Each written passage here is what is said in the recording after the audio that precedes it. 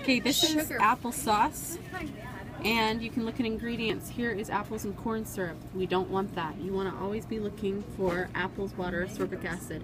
So you want to avoid corn syrup. So check your applesauces before you get them. Okay? No sugar added. No sugar added.